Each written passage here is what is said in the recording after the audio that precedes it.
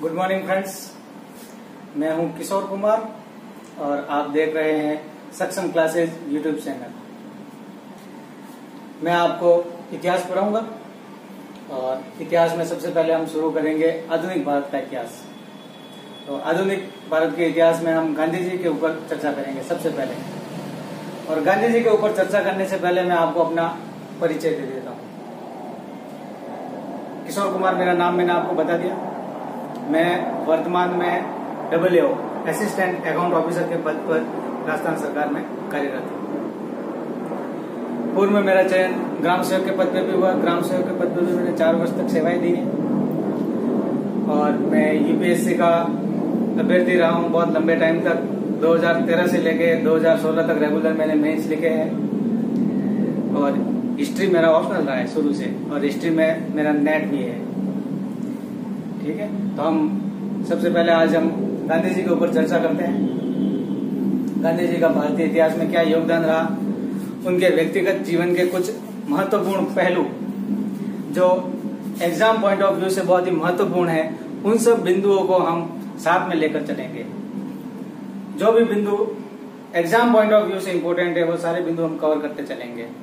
कौन कौन से राष्ट्रीय आंदोलन में कौन कौन से चरण गांधी जी के टाइम में आए, गांधी जी ने, गांधी जी के द्वारा कौन कौन से संपादन किए गए कौन सी किताबें उनके द्वारा निकाली गई कौन से न्यूज़पेपर्स उनके द्वारा निकाले गए। तो उन सब के ऊपर हम सिलसिलेवार चर्चा करेंगे।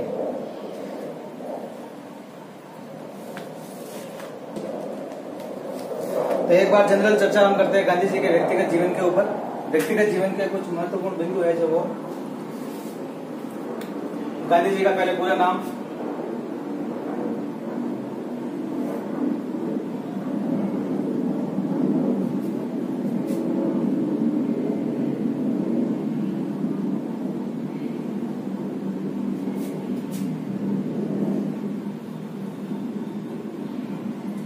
पहले प्रश्न आते थे ऐसे कि गांधी जी के पिताजी का क्या नाम है माता जी का क्या नाम है, उनकी पत्नी का क्या नाम है। अब ये ऐसे क्वेश्चन इतने प्रासंगिक नहीं रहे, क्योंकि आज हम दिन दिन ब दिन देखते जा रहे हैं कि जो कंपटीशन का जो स्तर है, वो स्तर दिन दिन प्रतिदिन बढ़ता जा रहा है। तो अब जो है, उनके जो स्वतंत्रता आंदोलन में उनका जो योगदान जो रहा है उन, उस योगदान में जो आंदोलन इनके द्वारा किए गए हैं, उन आंदोलन के महत्वपूर्ण बिंदु कौन कौन से हैं? उनको मतलब केंद्र में लेकर उनके आसपास के बिंदुओं को छूते हुए प्रश्न बनते हैं। और गांधी जी, इतिहास का एक ऐसा टॉपिक है जो हर कंपटीशन के सिलेबस में मिलेगा। आप फ़र्स्ट ग्रेड की तैयारी करो आईएएस की तैयारी करो आरएस की तैयारी करो कांस्टेबल की तैयारी करो, पटवारी की तैयारी करो या और किसी भी कंपटीशन की तैयारी करो। गांधी जी के ऊपर प्रश्न अवश्य रहेंगे। तो गांधी जी की माता का नाम?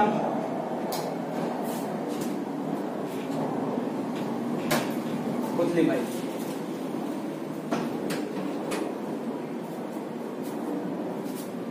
पिता करमचंद गांधी, माता पुतली बाई जन्म पोरबंदर, गुजरात गुजरात राज्य में पोरबंदर पोरबंदर किस जगह पे आया हुआ है गुजरात में?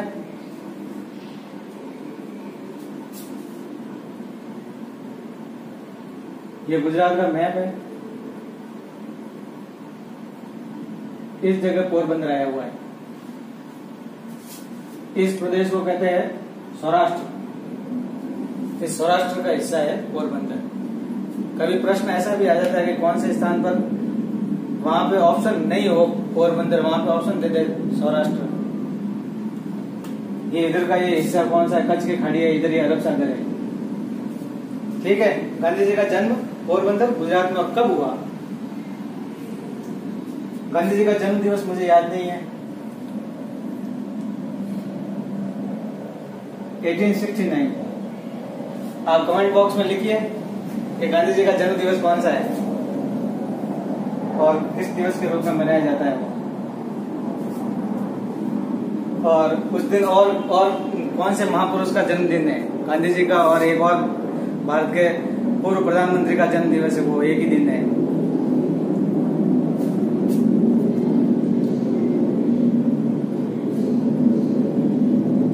अब हम चर्चा करते हैं कि गांधी जी का गांधी जी गांधी जी बनना कब से शुरू हुए? बीस वर्ष की उम्र में इन्होंने लॉ कर लिया था। बैरिस्टर की उपाधि इन्होंने प्राप्त कर ली थी। लंदन से इन्होंने बैरिस्टर की उपाधि प्राप्त करने के बाद में एक गुजराती व्यापारी, दादा अब्दुल्ला दादा अब्दुल्ला का मुकदमा लड़ने के लिए गांधी जी लंदन से दक्षिण अफ्रीका जाते हैं। एक मुकदमा लड़ने के लिए वो वहाँ जाते हैं और उस समय वो वहाँ पे, वहाँ की स्थिति देखते हैं। वहाँ का जो, वहाँ का जो वहाँ पे जो भारतीय, प्रवासी भारतीय जो वहाँ पे अंग्रेज़ मिल मालिकों की जो कारखाने हैं, वहाँ पे काम कर रहे हैं, बागानों में काम कर रहे हैं, उनकी जो स्थिति है, उनके साथ जो भेदभाव किया जा रहा है, जिस तरीके का शोषण हो रहा है उस शोषण को वो देखते हैं और वहाँ का जो स्थानीय आंदोलन जो वो लोग चला रहे हैं, उस आंदोलन में उन लोगों को एक पढ़े लिखे व्यक्ति की ज़रूरत होती है। एक ऐसा व्यक्ति की ज़रूरत होती है जो उनकी एप्लीकेशन लिख सके, उनका ज्ञापन तैयार कर सके। और चूँकि महात्मा गांधी बैरिस्टर थे तो इस कार्य को करने में महात्मा गांधी से उपयुक्त तो और व्यक्ति कोई हो ही नहीं सकता था। तो इसके लिए उन्होंने गांधी जी को कहा उस वक्त गांधी जी युवा थे तो उन्होंने काम किया और उन भारतीयों ने महसूस किया कि गांधी जी हमारा काम बहुत अच्छे तरीके से कर सकते हैं। तो फिर उसके बाद जब गांधी जी, दादा अब्दुल्ला का केस लड़ने के बाद में वापस आने को थे, उसी दिन ऐसा काम एक कोई ऐसा कानून पास कर दिया वहाँ की सरकार ने। तो दक्षिण अफ्रीका में सरकार कौन सी थी? उस वक्त, किस वक्त गए वो? सबसे पहले अपन ये पॉइंट लिखते हैं। 1893 में। 1893 में गांधी जी कहा गए? दक्षिण अफ्रीका। दक्षिण अफ्रीका कहा है? अफ्रीका महाद्वीप में। ये अफ्रीका महाद्वीप है। ये महाद्वीप है महाद्वीप के दक्षिण में है, इसलिए इसको दक्षिण अफ्रीका कहते हैं। ये यहाँ पे, ये कैप ऑफ़ गुड होप है। यहाँ से होते हुए ही वास्को डिगामा भारत आया था। इधर भारत है। इधर आ जाएँगे, ये भारत आ जाएगा इधर। तो यहाँ से ही एक गुजराती व्यापारी गुजराती व्यापारी वहाँ पे दक्षिण अफ्रीका में बहुत बसे हुए थे, पहले से ही। तो गांधी जी भी एक गुजराती व्यापारी, दादा अब्दुल्ला का कैश लड़ने गए थे और इसी स्थान से कैप ऑफ़ गुड है यहीं से गांधी जी से 500 वर्ष पहले वास्को डिगामा एक गुजराती व्यापारी के गुजराती व्यापारी ने वास्को डिगामा को रास्ता बताया था उसी रास्ते का अनुसरण करते हुए वास्को डिगामा भारत आए थे ठीक है दक्षिण अफ्रीका में कब गए 1893 और किस लिए गए थे दादा अब्दुल्ला का केस लड़ने के लिए केस लड़ लिया फिर उनको गांधी जी को वही रोक दिया लोगों ने वहाँ पे वो गांधी जी 20 वर्ष तक वहीं रहे 20-22 वर्ष तक वहीं रहे वहीं पे लोगों के जो आंदोलन थे, वहाँ के आंदोलन चलाए। वहाँ पे उनका एक महत्वपूर्ण बिंदु है, नोट करने वाला, कि वहाँ पे उन्होंने एक पेपर निकाला था। वो पेपर कौन सा था? गांधी जी के पेपर दो तीन पेपर उन्होंने निकाले हैं। जिनमें से प्रश्न ये रह सकता है कि कौन सा पेपर है जो गांधी जी ने अफ्रीका में नहीं, दक्षिण अफ्रीका में निकाला था। तो उस पेपर का नाम है इंडियन ओपिनियन।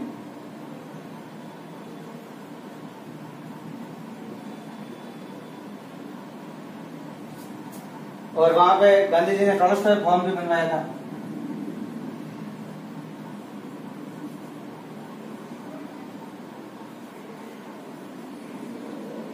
फॉर्म बनवाया था गांधी जी ने दक्षिण अफ्रीका में।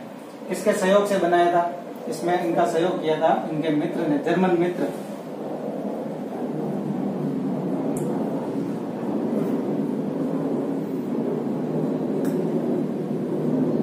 कालेनबाग जर्मन कालेनबाग नाम है उनका, और वो गांधी जी के मित्र थे, उन्होंने गांधी जी का सहयोग किया और टॉलस्टॉय फॉर्म बनवाया। टॉलस्टॉय फॉर्म, टॉलस्टॉय कौन थे? टॉलस्टॉय एक लेखक है।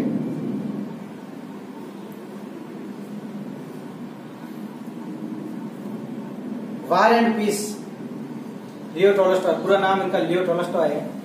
गांधी जी के दर्शन पे और गांधी जी के चिंतन पे और गांधी जी के जो तौर तरीके हैं, उनके ऊपर लियो टोलस्टॉय का बहुत प्रभाव रहा है। ठीक है? तो ये तो हो गया गांधी जी का वहाँ का योगदान। और अब हम चर्चा करेंगे गांधी जी वहाँ से भारत आए। और भारत में जो उनका क्या योगदान रहा?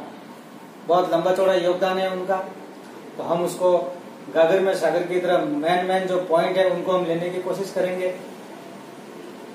और चर्चा करते हैं। और बाकी का भी जो राष्ट्रीय आंदोलन है पूरा, सारे आंदोलन जो है, वो गांधी जी से किस प्रकार जुड़े हुए हैं? पूरा आधुनिक भारत का इतिहास जो है, पूरा गांधी जी के इर्द गिर्द घूमता है। ठीक है? तो हम चर्चा करते हैं आगे। आगे चलते हैं।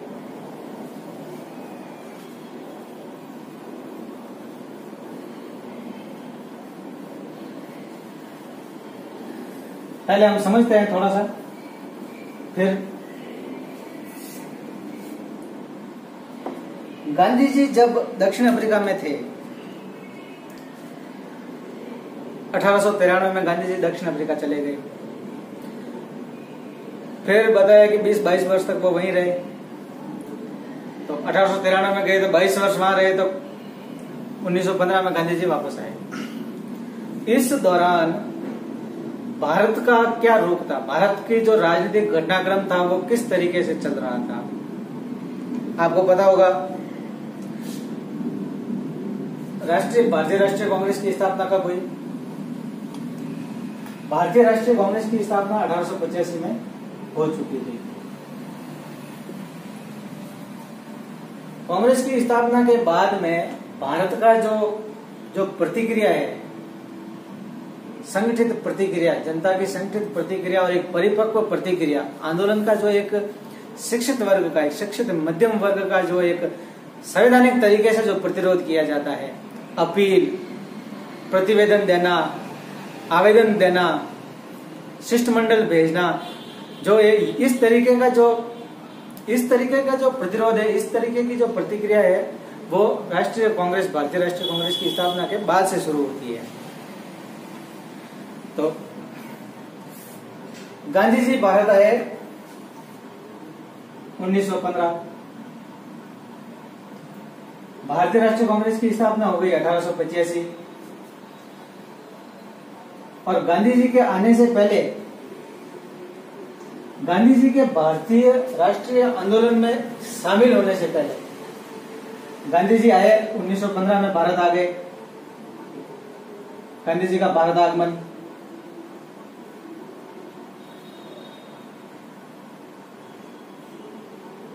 और जिस दिनांक को गांधी जी भारत आए थे, वो विशेष रूप से प्रवासी भारतीय दिवस के रूप में मनाया जाता है उस दिन को। प्रवासी भारतीय दिवस।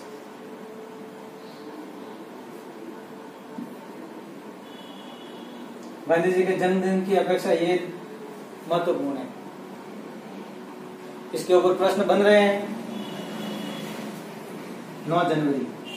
प्रतिवर्ष 9 जनवरी को प्रवासी भारतीय दिवस मनाया जाता है और 9 जनवरी 1915 को गांधी जी भारत आए थे। कहा से भारत आए थे? दक्षिण अफ्रीका से भारत आए थे। तो इस टाइम तो वो भारत आए। उसके बाद वो आते ही सीधे भारतीय राष्ट्रीय आंदोलन में शामिल नहीं हुए।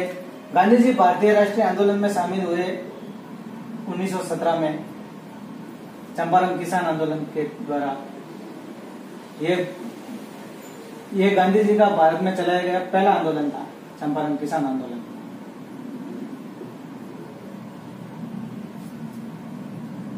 इसके ऊपर हम बाद में चर्चा करेंगे डिटेल में। चंपारण किसान आंदोलन, वहाँ पर गांधी जी को कौन लेके गया? और वहाँ पे कौन कौन से नेता थे? स्थानीय नेता कौन कौन थे? उनके भी नाम, उनके भी दो चार नाम है जो वो याद रखने हैं। तो पहले एक बार हम नज़र डालते हैं यहाँ पे। अठारह में राष्ट्रीय कांग्रेस की स्थापना। लॉर्ड डफरिन उस टाइम थे गवर्नर जनरल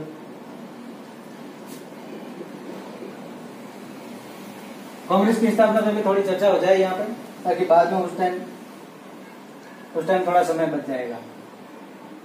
और इधर पूरा एकदम कोरिलेट हो जाएगा। भारत का राष्ट्रीय आंदोलन और गांधी जी दोनों को अपने को कोरिलेट करके पढ़ना है। सारे टॉपिक एक दूसरे में उलझे हुए हैं। लॉर्ड डबरिन के टाइम में स्थापना हुई थी कांग्रेस की और किसने की थी? ए ओ यूम ठीक है? तो कांग्रेस की स्थापना के बाद में भारतीय राष्ट्रीय आंदोलन का पूरा जो भारतीय राष्ट्रीय आंदोलन का जो नेतृत्व जो था, उसके ऊपर कांग्रेस की स्थापना के बाद से कांग्रेस हावी रही है तो कांग्रेस के जो पुराने नेता थे गांधी जी से पहले के नेता, उनमें से कुछ के नाम लिखते हैं? दादा भाई नौरोजी।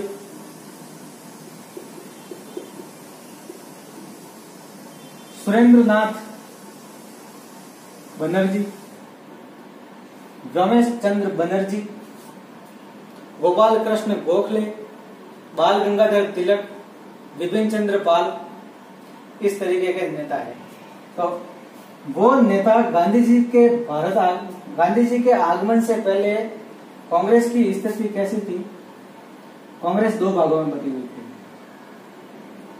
सूरत अधिवेशन, कांग्रेस का जो सूरत अधिवेशन हुआ था 1907 का सूरत अधिवेशन। सूरत अधिवेशन में कांग्रेस का विभाजन हो गया था। कांग्रेस नरम दल और गरम दल में विभाजित हो गई थी। नरम दल और गरम दल और बहुत से लोगों के दिमाग में ये मिस मिसकंसेप्शन है कि गांधी जी किसमें थे? नरम दल में थे कि गरम दल में थे?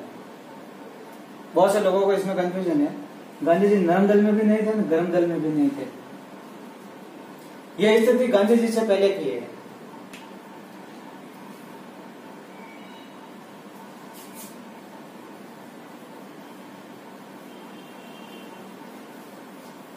यह स्थिति उस वक्त की है जब गांधी जी दक्षिण अफ्रीका में थे और भारत में यह स्थिति थी। गरम दल और नरम दल में विभाजन हो गया था।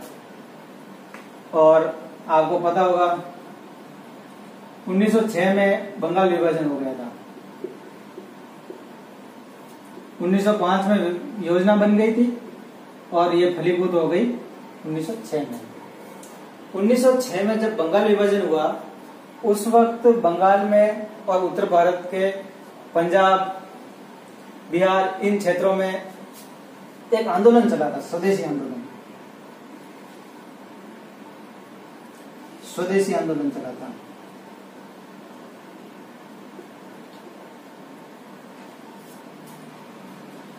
स्वदेशी आंदोलन से भारत में जो युवा वर्ग जो था, उनमें और जो क्रांतिकारी लोग जो थे, उनमें एक हलचल आई थी। उन्होंने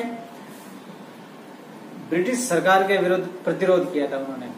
विदेशी वस्तुओं का बहिष्कार किया था स्वदेशी आंदोलन में। और स्वदेशी वस्तुओं को अपनाने पर बल दिया था। तो यह आंदोलन चला था पूरा। इसमें सरकार ने अपना दमन चक्र भी चलाया था। तो जो स्वदेशी आंदोलन था गरम दल के लोग इस स्वदेशी को, इस स्वदेशी आंदोलन को चलाना के पक्ष में थे। वो बहिष्कार की राजनीति करते थे, प्रत्यक्ष कार्रवाई की राजनीति करते थे गरम दल के लोग। उसके विपरीत जो नरम दल के जो नेता थे, नरम दल के नेता का था प्रार्थना पत्र, प्रार्थना के द्वारा, याचना के द्वारा शिष्ट मंडल के द्वारा, संवैधानिक तौर तरीकों पर वो विश्वास करते थे। तो गरम दल और नरम दल के बीच में विवाद उत्पन्न हो गया। और वही विवाद 1907 के अधिवेशन में स्वदेशी और स्वराज, स्वदेशी? एक तो स्वदेशी। दूसरा स्वराज। इन दो प्रस्तावों को पास कराना चाहते थे गरम दल के नेता। और सूरत अधिवेशन में सूरत अधिवेशन में, सूरत अधिवेशन के अध्यक्ष कौन थे, ये भी नाम आपको याद रखना है। सूरत अधिवेशन अपने आप में महत्वपूर्ण है क्योंकि इसमें ये कांग्रेस का विभाजन हुआ था। तो जो भी महत्वपूर्ण महत्वपूर्ण जो भी अधिवेशन है, उनके सबके अध्यक्ष कौन थे वो याद रखने सूरत अधिवेशन के अध्यक्ष थे राज बिहारी बोस। तो राज बिहारी बोस जो थे, ये स्वयं नरम दल के नेता थे। तो अब इसी बात से सिद्ध हो जाता है कि इसमें किस पक्ष का दबदबा रहा होगा? जब नरम दल का नेता अध्यक्ष पद के लिए चुना जा रहा है, नरम दल का दबदबा रहा होगा। तो इसी वजह से ये जो गरम दल के नेता जिस, जिन प्रस्तावों को पारित करवाना चाहते थे,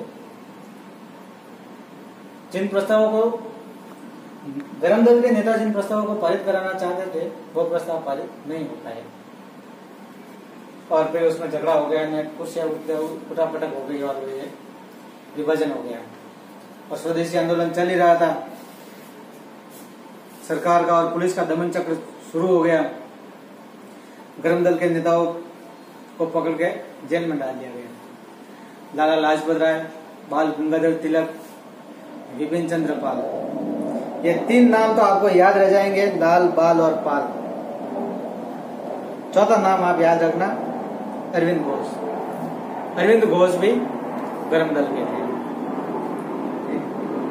इन सबको पकड़ के जेल में डाल दिया गया। इनका दमन करने के लिए सरकार ने नरम दल के नेताओं को ढाल के रूप में इस्तेमाल किया। ब्रिटिश सरकार की शुरू से पॉलिसी रही है, फूट डालो और राज करो। यहाँ पे भी उन्होंने, जब गरम दल के नेताओं के ऊपर उनको प्रहार करना था तो उन्होंने नरम दल वालों को अपने साथ में रखा। उनके प्रति थोड़ा नरमी का रवैया अपनाया। और इसी दौरान भारत में मुस्लिम लीग की स्थापना हुई। मुस्लिम लीग की स्थापना कब हुई? 1906 1906 में। और उसके कुछ समय बाद 1909 में Morley Minto reform, Morley Minto reform.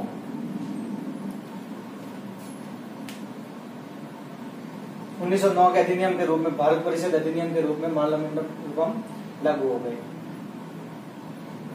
इसकी क्या विशेषता थी? मुसलमानों को पृथक निर्वाचन मंडल की सुविधा उपलब्ध हुई 1909 के भारतीय परिषद अधिनियम के द्वारा, जो पार्लियामेंटरी रिफॉर्म थे। 1906 में मुस्लिम लीग की स्थापना और पार्लियामेंटरी रिफॉर्म, यहीं से शुरू हो जाती है भारत में सांप्रदायिक राजनीति की सांप्रदायिक टकराट होती है जो वो यहाँ से उसके शुरुआत हो जाती है। तो दो विभाजन हो गए, एक तो हिंदू मुस्लिम विभाजन होना। दूसरा ये हिंदू मुस्लिम विभाजन वाली राजनीति ये भी यहाँ से शुरुआत हो जाती है। और लाल बाल पाल को जेल में डाल दिया जाता है। फिर भारतीय जो राष्ट्रीय आंदोलन है, उसमें ठहराव आ जाता है। माले मिंटो रिफॉर्म के बाद में फिर थोड़े दिनों बाद में प्रथम विश्व युद्ध की शुरुआत हो जाती है। 1914 में प्रथम विश्व युद्ध की शुरुआत हो गई थी। या आपकी सुविधा के लिए मैं लिख देता हूँ। अलग अलग लिख देता हूँ स्पष्ट आपके लिए ठीक रहेगा। 1906 में मुस्लिम लीग की स्थापना।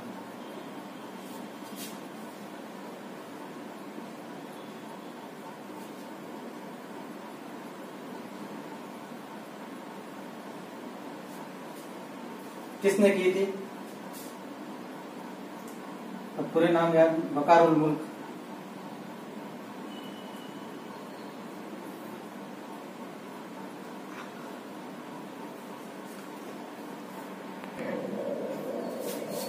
बकारुल मुल्क, ये है ढाका के नवाब।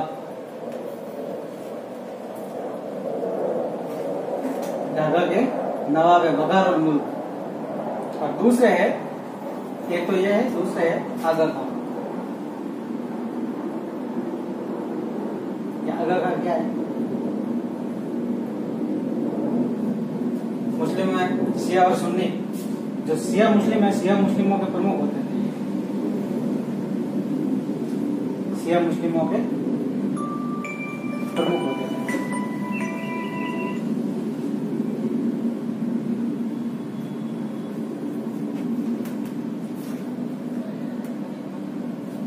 नवाब वकारुल मुल्क और आगा खान ने मुस्लिम लीग की स्थापना की। उन्नीस सौ छह में। उन्नीस सौ नौ भारतीय परिषद अधिनियम।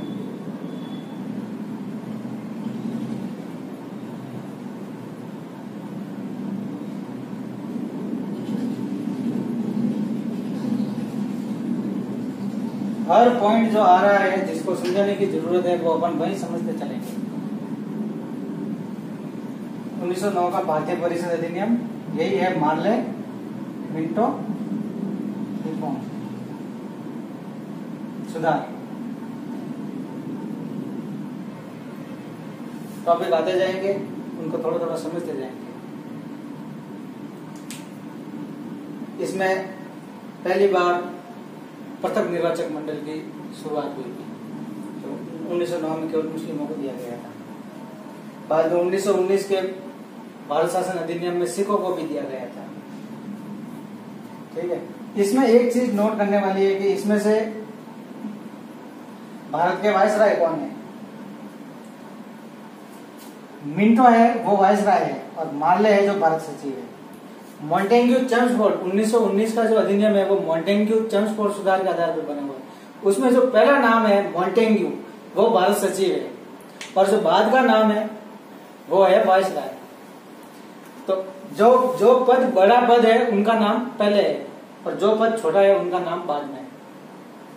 ये जो मार्ले भारत सचिव जो है, भारत सचिव, अपने यहाँ पे कहते हैं कैबिनेट मिनिस्टर अपने यहाँ पे जिनको कैबिनेट मिनिस्टर कहा जाता है, उसी पद को कैबिनेट के जो मिनिस्टर के जो पद होता है,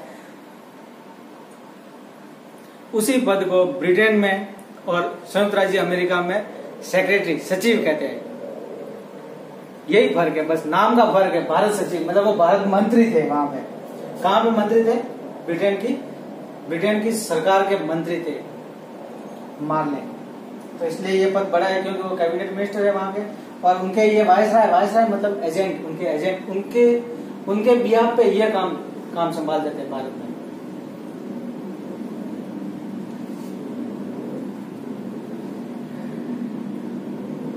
फिर इसके बाद में भारत में शांति रही, भारतीय राष्ट्रीय आंदोलन में ठहराव ठहराव आ गया। फिर थोड़ा सा घटनाक्रम शुरू होता है 1914 में। 1914 में कौन सी घटना हुई थी? 1914 में विशेष घटना हुई थी। प्रथम विश्व युद्ध की शुरुआत। प्रथम विश्व युद्ध में मित्र राष्ट्र, एक पक्ष था मित्र राष्ट्र। दूसरी तरफ़ जर्मनी और जर्मनी के जो सहयोगी राष्ट्र थे, इटली वगैरह वो सब थे। और एक तरफ़ था सॉरी इटली भी मित्र राष्ट्रों के साथ था। पहले वो जर्मनी के साथ था, लेकिन बाद में संधि की गई, गुप्त संधि हुई ब्रिटेन के साथ। और उस गुप्त संधि के तहत इटली ने जर्मनी का साथ छोड़ दिया था और ब्रिटेन के साथ आ गया था। तो ब्रिटेन उसमें एक पक्ष था। ब्रिटेन चूँकि विश्व युद्ध में उलझा हुआ था तो भारत के कुछ वर्ग ने जो भारतीय राष्ट्रीय आंदोलन के जुड़े हुए कुछ नेताओं का जो एक वर्ग था, उस वर्ग ने कहा कि,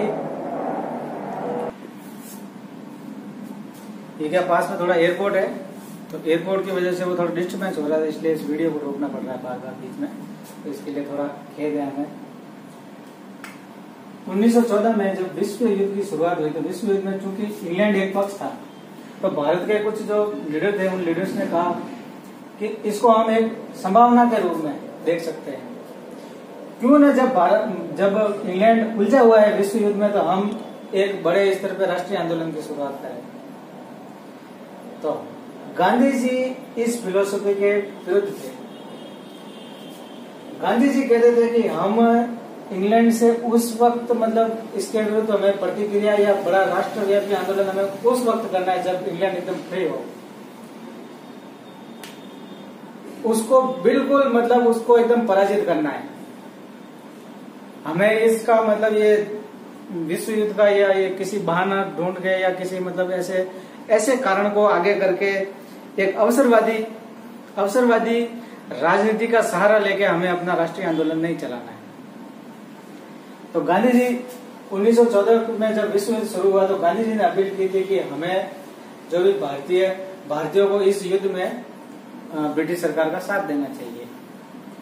उन्नीस सौ चौदह से लेकर उन्नीस सौ अठारह तक विश्व युद्ध चला। विश्व युद्ध में इंग्लैंड के जो विरुद्ध जो पक्ष था, जर्मनी जर्मनी के साथ वाला जो पक्ष था, उसके साथ एक था तुर्की। तुर्की। तुर्की का होता था खलीफा। यहाँ का शासक होता था खलीफा। अब जर्मनी भी हार गया, जर्मनी के साथ तुर्की भी हार गया। तो जो खलीफा जो होता था, ये मध्यकाल से ही खलीफा पूरे विश्व के जो मुस्लिम समुदाय जो है, उसका धार्मिक गुरु हुआ करता था। सब सिया सुन्नी, सब पूरे विश्व के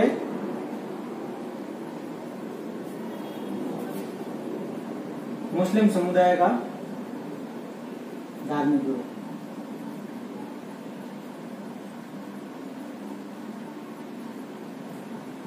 प्रॉफेट मोहम्मद के बाद में फिर खलीफाओं का सिस्टम शुरू हो गया था। तो वो खलीफा पूरे मुस्लिम समुदाय के धार्मिक गुरु हुआ करते थे। तो भारत में उस वक्त क्या हुआ, तुर्की के साथ संधि हुई थी। विश्व युद्ध के बाद में इंग्लैंड ने ज़बरदस्ती संधि थोप दी थी, सेवाई की संधि, सेवाई की संधि, जो बहुत ही अपमानजनक संधि थी।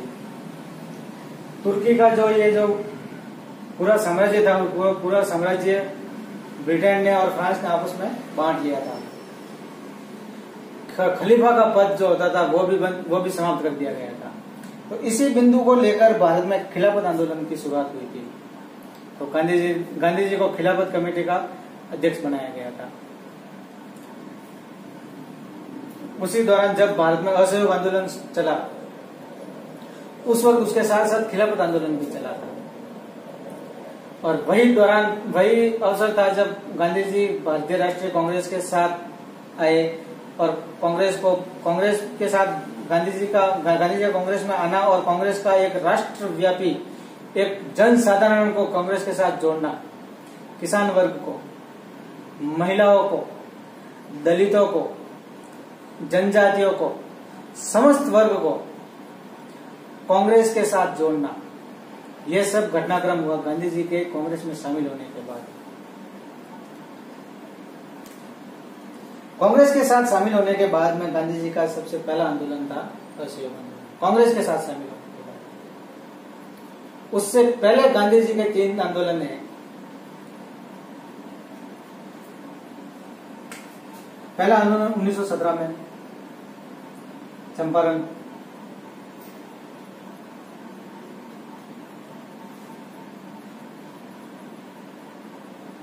फिर उन्नीस सौ अठारह खेड़ा। खेड़ा किसान आंदोलन, चंपारण किसान आंदोलन 1918 का ही।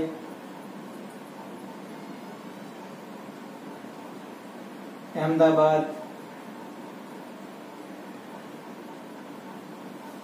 मिल आंदोलन।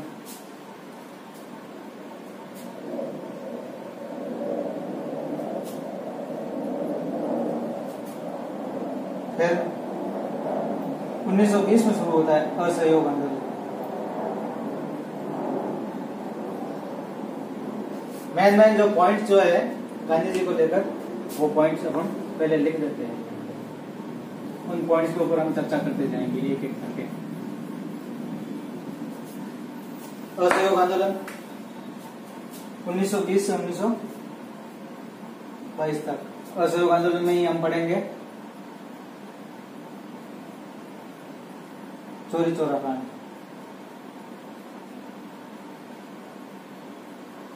क्या था ये चोरी चोरा? कहाँ आया हुआ है? क्या हुआ था इसका? क्या प्रभाव पड़ा असहयोग आंदोलन पे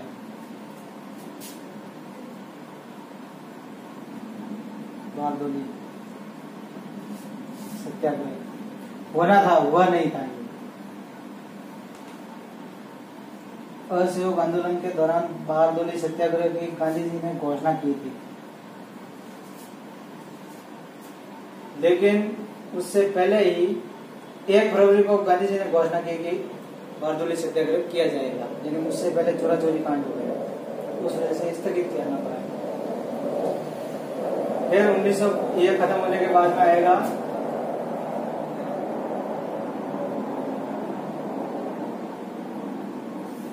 उन्नीस सौ अट्ठाईस में आएगा हमने साइमन कमीशन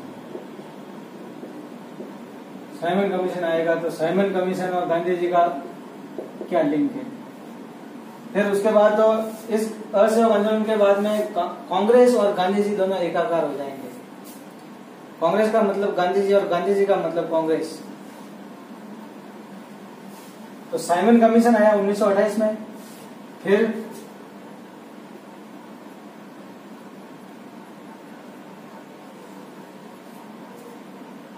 उन्नीस का लाहौर अधिवेशन, कांग्रेस का लाहौर अधिवेशन।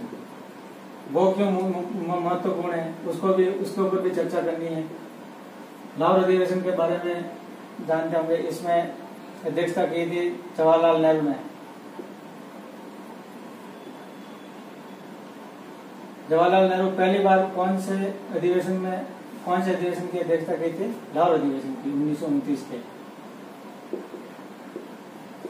इससे जस्ट पहले जो उन्नीस का जो अधिवेशन हुआ था, उसमें इनके पिताजी थे।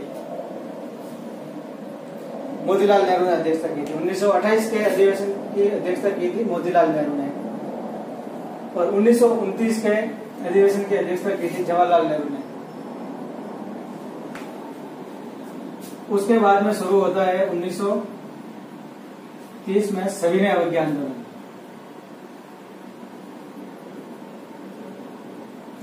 ये सब इसलिए लिखवा रहा हूँ मैं पहले। पहले ये पॉइंट वाइज चर्चा इसलिए कर रहा हूँ कि एक बार आपके दिमाग में फ्रेम बन जाए। कौन सी घटनाक्रम पहले हुआ है? कौन सा घटनाक्रम बाद में हुआ है? 1930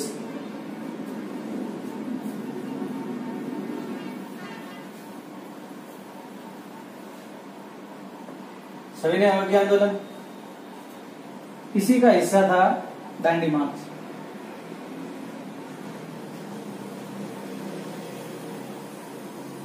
यही है नमक सत्याग्रह।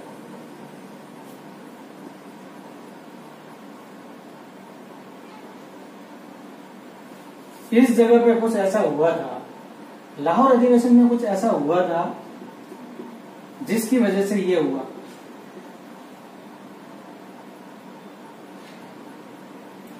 साइमन कमीशन भारत आया था। उसी को लेकर ये सब राजनीति शुरू हुई। सब चर्चा करेंगे हम, विस्तार में चर्चा करेंगे। 1930 में जो हुआ सैन्य अवज्ञा आंदोलन। तो आंदोलन होता है, तब क्या होता है? आंदोलनकर्ता और सरकार। दोनों के बीच में उस वक्त टकराव होता है। उसी को आंदोलन कहते हैं। सरकार की बात को नहीं मानना है उनकी आज्ञा की अवज्ञा करना है। तो उस वक्त हुए थे ब्रिटेन में गोलमेज सम्मेलन। तो गोलमेज सम्मेलनों का कांग्रेस ने बहिष्कार किया था।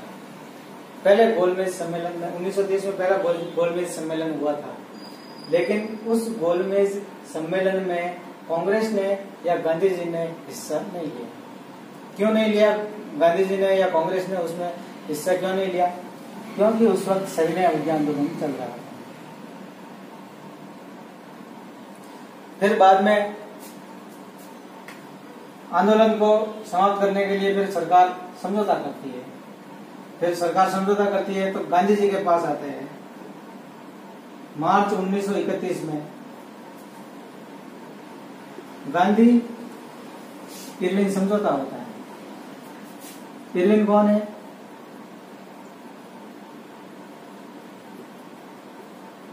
गांधी इरविन समझौता होता है। इरविन है, तत्कालीन भारतीय वायसराय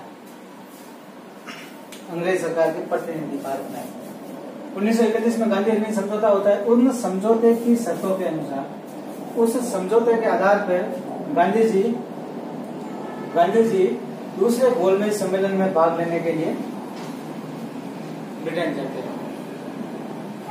उसमें छोटा सा पॉइंट है, वो कौन से जहाज़ में बैठ के गांधी जी गए थे? राजपुताना करके कुछ है, M S Rajputana, M S Rajputana कुछ। याद रख लेना, जहाज़ का नाम है। इस जहाज़ में बैठ के गए थे द्वितीय द्वितीय गोल में सम्मेलन में भाग लेने गए प्रथम गोलमेज सम्मेलन में कांग्रेस के किसी प्रतिनिधि ने भाग नहीं लिया था। द्वितीय गोलमेज सम्मेलन में कुछ इश्यू ऐसे हो गए। प्रथम निर्वाचन मंडल। भारत में दलितों को जो रैमसे मैकडोनाल्ड जो तत्कालीन ब्रिटेन के जो प्रधानमंत्री थे, उन्होंने 1932 में घोषणा की, कम्युनल अवार्ड की घोषणा।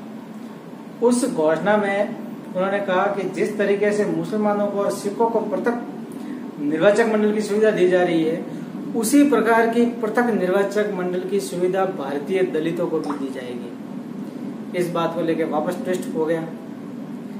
वापस गांधी जी अनशन पे चले गए और दलितों का प्रतिनिधित्व करने वाले भीमराव अंबेडकर भीमराव अंबेडकर ने पृथक निर्वाचन मंडल की मांग की। फिर गांधी जी और अंबेडकर के बीच में 1932 में पुना पैक्ट होता है। पुना पैक्ट उसके ऊपर भी चर्चा करेंगे। सिंपल सा प्रश्न है पुना पैक्ट किन के गांधी और अंबेडकर फिर इसके आगे बढ़ेंगे। फिर आ जाएँगे सुभाष चंद्र बोस। सुभाष चंद्र बोस पुना पैक्ट उन्नीस सौ बत्तीस गांधी और अंबेडकर के बीच में। फिर इसके बाद में सुभाष चंद्र बोस और गांधी जी का विवाद। फिर भारत छोड़ो आंदोलन। फिर लीग मुस्लिम लीग और कांग्रेस के टकराव फिर भारत की आज़ादी कैसे हुई? और वो सब पॉइंट्स है। तो कल हम पहले इसके जो नेक्स्ट वीडियो है नेक्स्ट वीडियो में पहले हम ये जो, अभी जो बिंदु लिखाए गए उनका, उनके ऊपर, उनके जो महत्वपूर्ण पॉइंट हुए उनके ऊपर चर्चा करेंगे। नेक्स्ट वीडियो में हो सकता है ठीक है? धन्यवाद।